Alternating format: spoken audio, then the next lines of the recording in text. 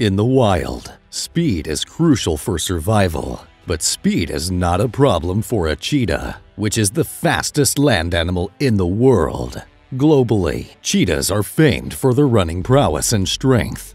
Aside from their speed, there are more admirable facts that you should know about this big wild cat. The cheetah is an animal that has a long and slender body that is covered in coarse yellowish fur and dotted with small black spots. Its long tail helps with balance and changing direction quickly, and unlike the rest of the cheetah's body, there are ringed markings along the tail, which ends in a black tip.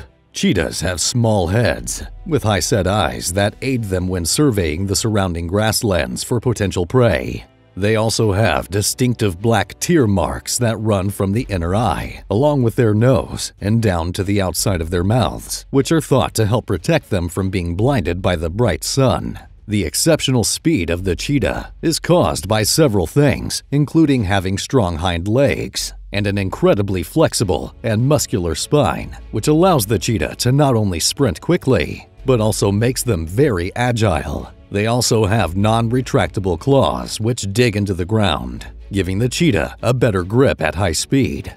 Body lengths of cheetahs range from 1.1 to 1.5 meters, or 3.9 to 4.9 feet, and the height at the shoulder ranges from 67 to 94 centimeters, or 2.2 to 3.1 feet. Their weights average from 21 to 72 kilograms, or 46 to 158 pounds, with the average male larger than the average female.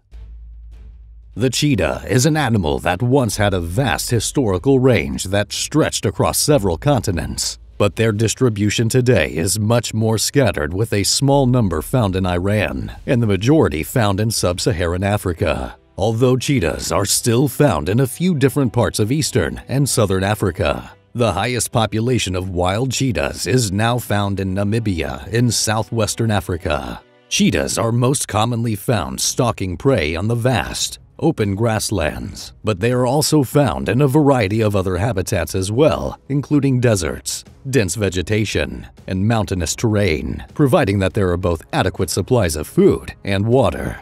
Cheetahs have a unique social order among felids. Adult females are solitary, while adult males are not. Adult females interact with adult males only long enough to breed, and females raise their cubs on their own. At 18 months, the mother leaves the cubs, who then form a sibling group that stays together for another six months. At about two years, the female siblings leave the group and become solitary, while the young males remain together for life in a group called a coalition. A coalition is usually made up of two to three litter mates and is a very tightly bonded group. Singleton males are not common and usually do not survive long.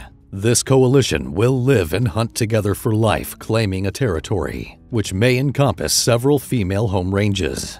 The cheetah has exceptional eyesight and so hunts using sight by first stalking its prey and then chasing it when the time is right. Cheetahs often kill their prey in vast open spaces, but tend to drag it into a hiding place to prevent it from being scavenged by other animals. The cheetah has to do this, as it cannot eat its prey straight away since they are immensely hot after the chase and need time to cool down before it can feast.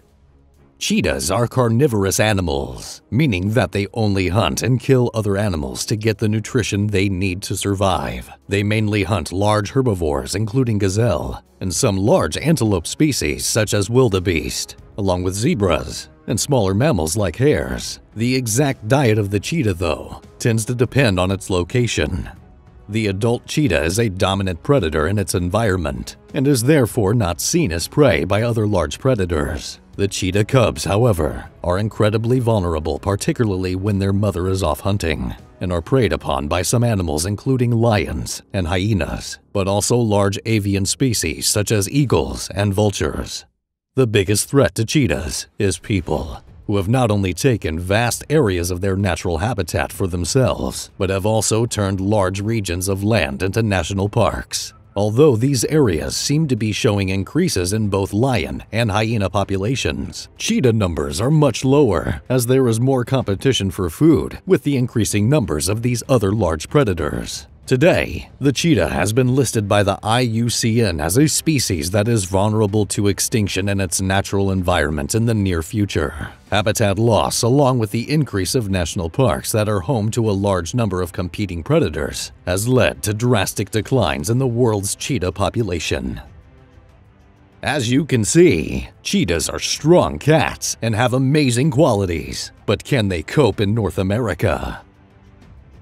North America is a continent of varied landscapes, stretching from the Arctic wastes of the far north to the narrow land bridge of Central America in the south, and bounded by the Pacific Ocean to the west and the Atlantic Ocean to the east. Just like its habitats, the wildlife of North America is extremely diverse, ranging from hummingbirds to beavers to brown bears and all kinds of biological magnificence in between. There are six species of wild cats native to North America bobcat, cougar, Canada lynx, ocelot, jaguarundi, and jaguar. Of all of those cats, the cougar is the most prolific and lives from Canada all of the way through Argentina. Cougars can be found in a wide range of habitats, including deserts, savannas, tropical rainforests, and alpine steppes. Both molecular and morphologic studies suggest that the cougar's origin dates to 5 to 8 million years ago, when their ancestors diverged from the cheetah's ancestors.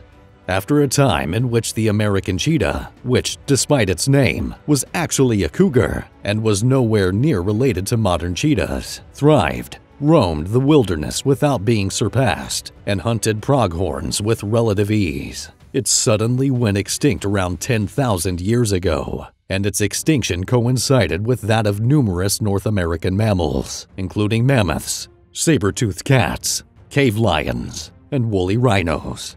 It is believed that there are two culprits behind the species extinction. The first was the changing climate that occurred by the end of the Ice Age and warmed the Earth up, thus decimating the megafauna that couldn't stand the heat, while the other was the depletion of prey populations which in turn led to a heavy decline in American cheetah populations, an event that lowered genetic variability and gave way to a population bottleneck. Some scientists believe that there was probably a combination of both factors that induced the American cheetah's eradication. There's no question that a cheetah could hunt successfully in North America. Most deer are not as agile as an average gazelle, which is the edge a gazelle has in a chase. The cheetah has incredible speed, but it lacks the ability to change directions as quickly as a gazelle. The white-tailed deers, for example, are pretty bulky, but they can't change direction very well. Of course, cheetahs are only able to survive in open areas. They're not suited to living in forests. This means that the southern United States is almost ideal for them. There are plenty of large open plains they can live in, and they provide the prey they can hunt such as deer and pronghorn. The only problem would be the local predators.